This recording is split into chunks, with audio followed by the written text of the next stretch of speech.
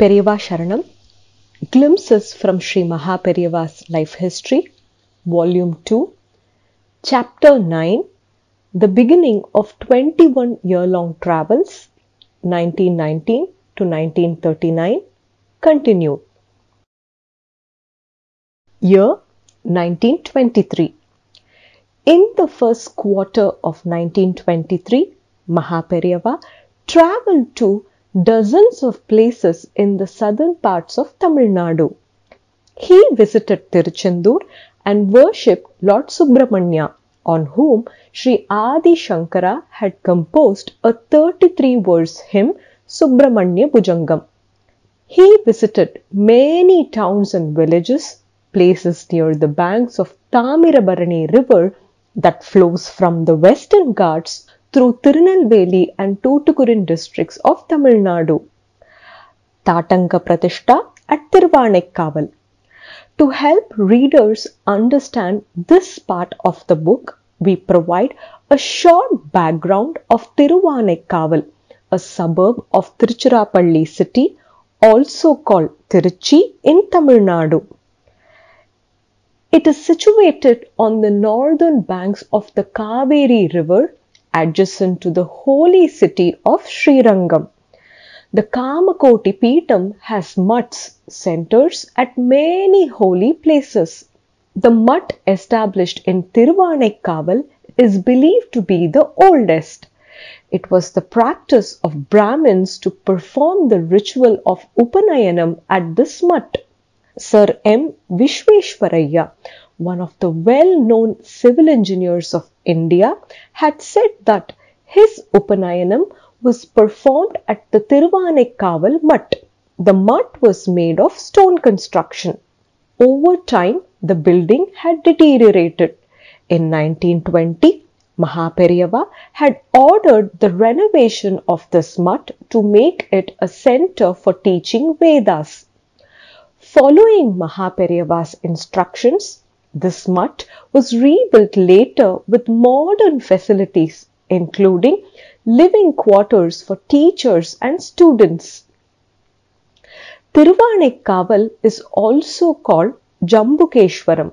It is one of the Panchabhuta Kshetrams, five temples dedicated to Lord Shiva, each representing the manifestation of the five prime elements of nature land, water, air, sky, fire. Tiruvanekkaval is known as Appukshetram, holy place manifesting water. The Shivalingam at this temple is surrounded by water from a perennial subterranean spring. The presiding Shiva deity at this temple is known by the name Jambukeshwarar. His consort is known as goddess Akilandeshwari.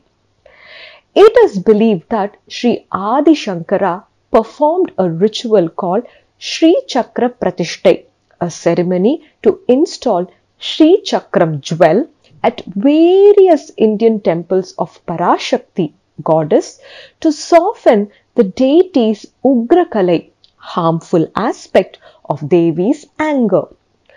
The deities thus adorning the Sri Chakra are Annapurni in Varanasi, Mookambikai in Karnataka, Kamakshi in Kanchipuram, Tripura Sundari in Chennai suburbs Tiruvottriyur, and Akilandeshwari in Tiruvanekkaval. The Sri Chakra is shaped differently at each of these places. At Tiruvanekkaval, Sri Adi Shankara consecrated the Tatankam's earrings in the form of Sri Chakra, now adorning the ears of Devi Akilandeshwari. In addition, Sri Adi Shankara installed an idol of Ganapati in front of Devi Akilandeshwari. As and when considered necessary, it was the sacred duty of the Kanchi Kamakoti Acharyas to carry out the renovation of the Tatangams and perform the reinstallation ceremony. In the year 1920, the temple authorities of Tiruvanekkaval had expressed concerns to Kamakoti Peetam on the deteriorating condition of the Tatangams and sought their renewal. Mahaperiyava had considered this matter deeply and decided to renovate the Tatangams and place them in Sri Chakra shaped diamond studded outer covers to make them last much longer.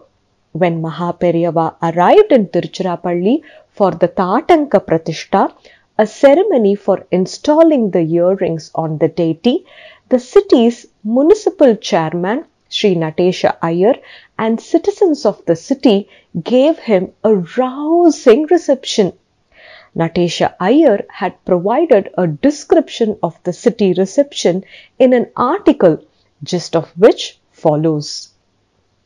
The reception accorded to Mahaperiyava was far above what is generally provided to VIPs like Maharajas, Viceroys and Governors. Mahaperiyava was taken in a seven mile long procession that included seven pairs of Nadaswaram, three pairs of musical bands, bhajan and other musical groups, four elephants, many horses, camels et al, and lakhs of people, Hindus, Christians, Muslims, and others belonging to all sections of society on the way, people honored Mahaperiyava with Purna Kumbhams, a Hindu ritual to welcome an honored person and flowers. Starting at 6 pm from Tiruchirappalli, the procession took over four hours to reach Thiruvanekkaval. Two days earlier to the Tatanka Pratishta, a large Yagashala, a place to perform ritual sacrifices, was constructed in the temple premises. On Sunday, April 29, 1923, Mahaperiyava installed the pair of Tatankams on Devi's ears. It was a grand occasion and people felt blessed to witness the event. At the Rangoon Reddiyar Choultry, food was served to thousands of devotees for seven days three day conference.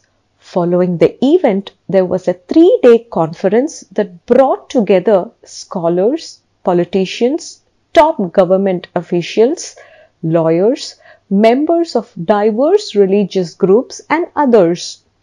At this forum, Mahaperiyava offered an opportunity to members to express their thoughts and suggestions on the adoption of religion to suit changing times and efforts to protect traditional practices.